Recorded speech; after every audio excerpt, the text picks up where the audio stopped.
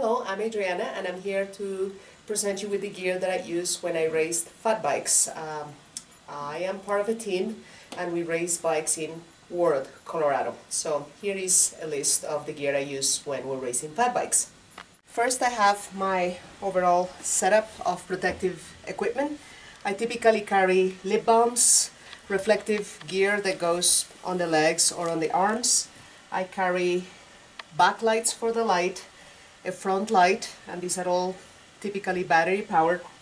Uh, for emergency, I, I, usually carry a Black Diamond or any other kind of brand headlamp with 200 lumens or more, if at all possible.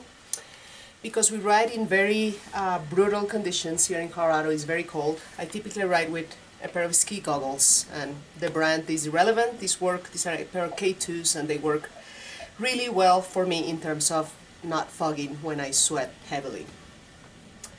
As a brief emergency, I typically carry a set of batteries, a few matches, duct tape uh, in a very compressed format, a chem light in case I get stuck and I need to ask for help, um, a whistle, a very small type of medical equipment type of thing, knife, um, an Allen key, Allen wrench for my bicycle, an extra buckle, a bike pump, hand and feet warmers, a little emergency blanket in case I get stuck at night and have to overnight it in the winter time.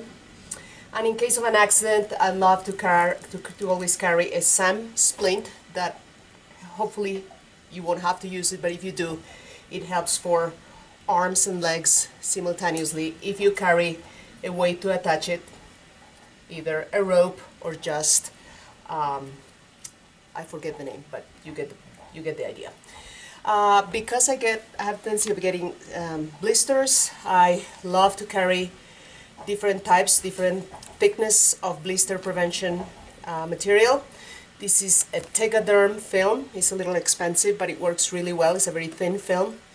Um, I carry band-aids and I carry um, skin mold that also works really well to prevent blisters. So that's in general, oh, and I always carry a thermos that can hold up to two cups of hot liquid for about 12 hours. And I'm not very brand conscious, any brand works just fine if you tested previously.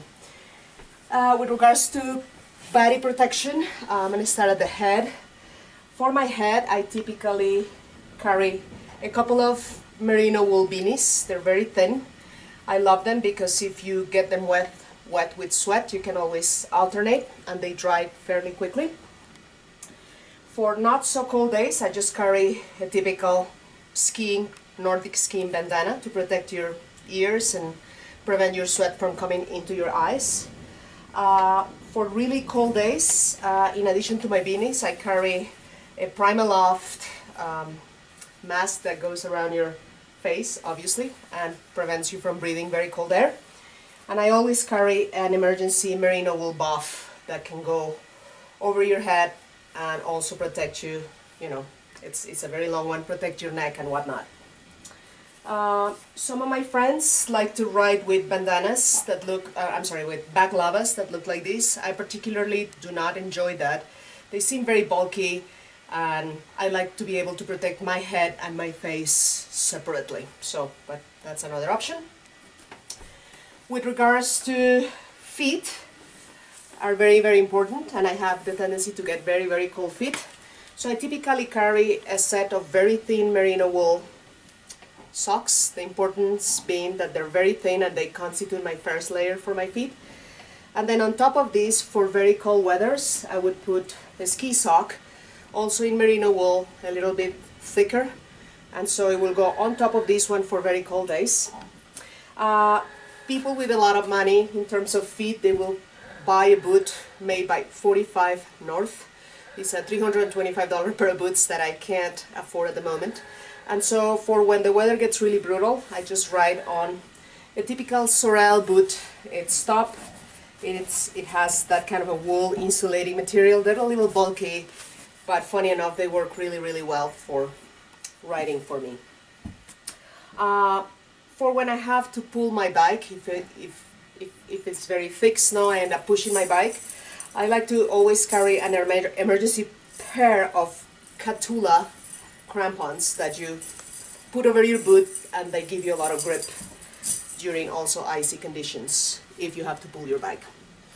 Uh, sometimes if I'm not riding with this kind of boot, it's always good to carry a pair of gaiters. If you're riding with another type of Gore-Tex shoe, you put your gaiters on top and it works actually quite well to replace this type of component on your boot, should you not decide to use this.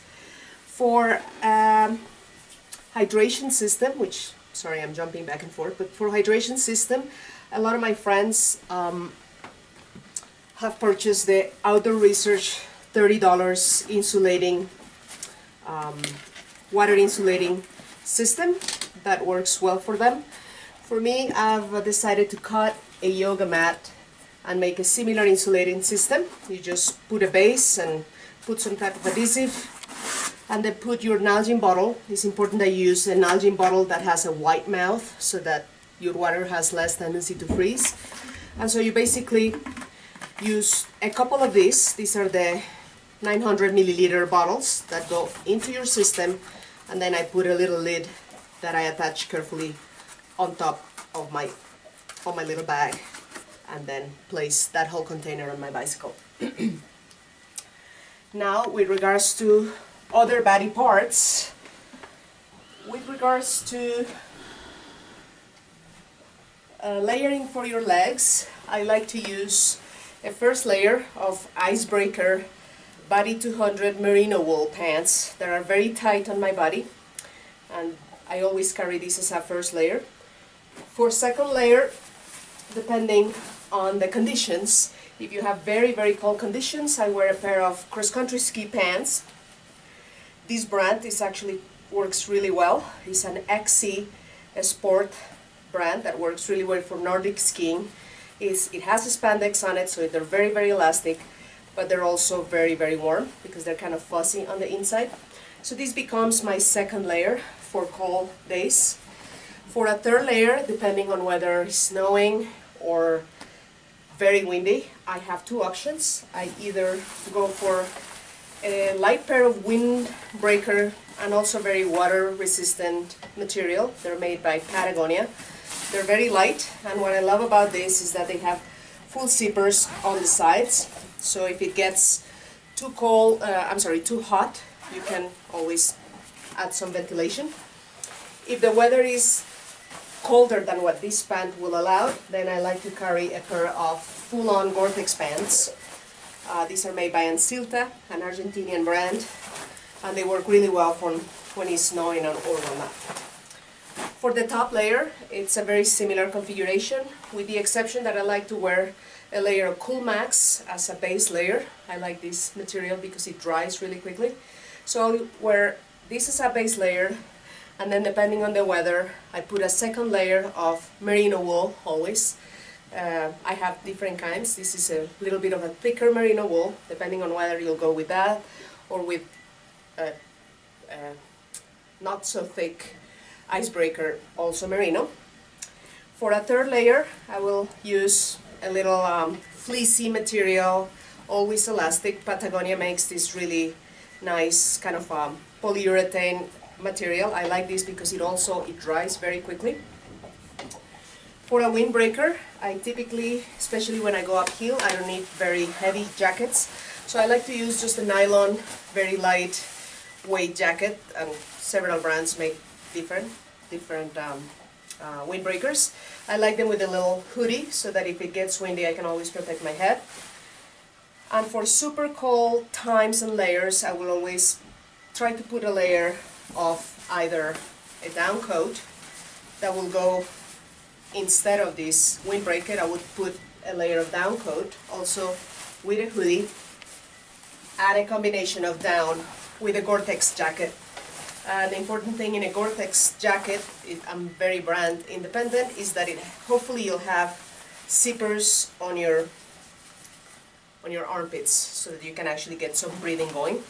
And I like the idea of having several types of pockets to keep my um, bars and whatnot easily accessible.